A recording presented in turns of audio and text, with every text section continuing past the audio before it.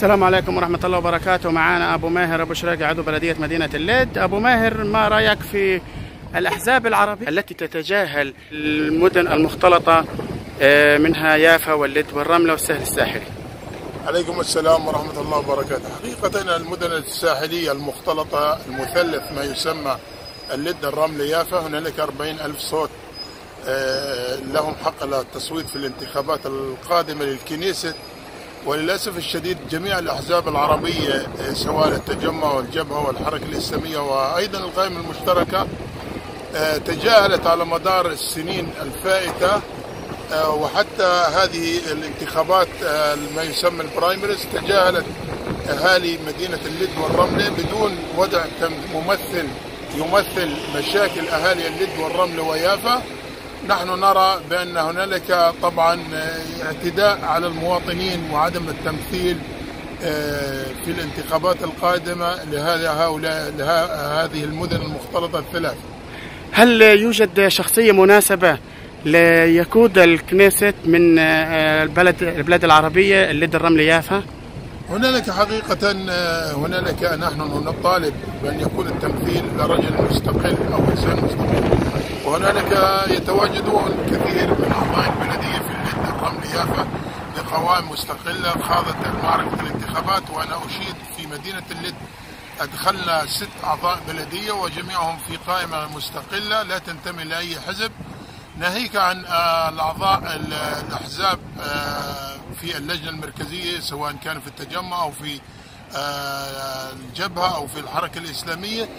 هؤلاء الأحزاب وجميع الأحزاب الثلاثة طبعا آه، تجاهلت المواطنين العرب في المدن المختلطة ونحن نرى بأن هذا التجاهل طبعا هو آه، عدم اتخاذ آه، مشاكل الناس في في هذه المدن المختلطة تجاهلا كليا وكاملا وعدم الشعور بأن هنالك معاناة في الحياة اليومية في هذه المدن المختلطة.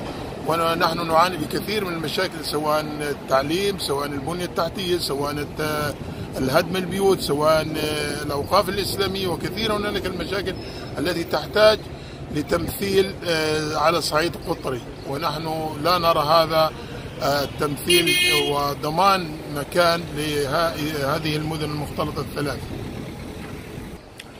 أبو ماهر أبو شرقة نحن نواجه آه، كثير من هدم البيوت آه، في مدينة اللد والرملة ولم نرى أعضاء الكنيست الذي نحن انتخبناهم.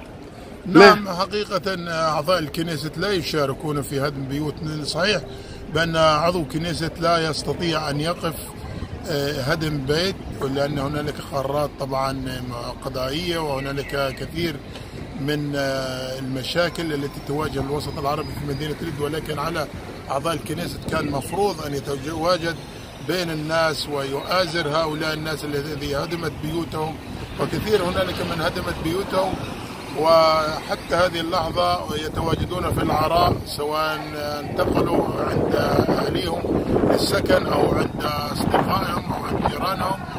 نحن نريد أن نرى آه، أعضاء الكنيسة يتواجدون ويشاركون. الناس ليس فقط في هدم البيوت في كثير مشاكل الحياة اليومية.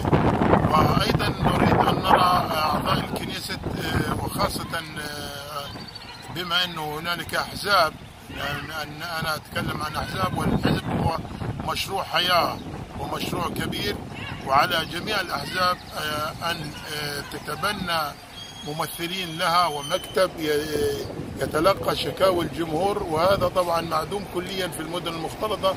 لا أدري إذا سواء معدوم في جميع الداخل الفلسطيني من الشمال وحتى الجنوب ولكن أنا أتكلم عن المدن المختلطة اللد الرمل يافا. هذا المثلث بحاجة لفتح مكاتب لهذه الأحزاب وتمثيل الناس والتوجه للناس بعنوان صحيح وعنوان آه، للج- للجميع برفع الشكاوي وهم الحياة اليومية في هذه المدن المختلطة الثلاث شكرا لك أبو ماهر أبو شرقة عضو بلدية مدينة الليد